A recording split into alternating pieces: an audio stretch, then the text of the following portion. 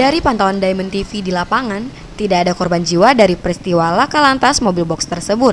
Namun kondisi mobil box Mitsubishi dengan nomor BP 8782 bagian depan rusak parah, kaca depan dan samping berhamburan di aspal. Kemudian, petugas Satlantas Polres Tanjung Pinang datang dengan truk derek untuk mengevakuasi mobil tersebut ke Satuan Satlantas Polres Tanjung Pinang.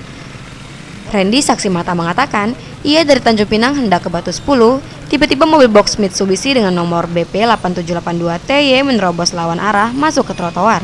Uh, saya kan dari Pinang nih mau ke arah Batu 10 sana. Ah, Ya udah tiba-tiba yang pickup biru itu nerobos ngelawan arah gitu masuk ke trotoar. Trotoar Langsung gitu. nubruk. Nah, berarti dalam kecelakaan ini bang nggak nggak ada korban jiwa ya? korban jiwa nggak ada. Nggak ada ya?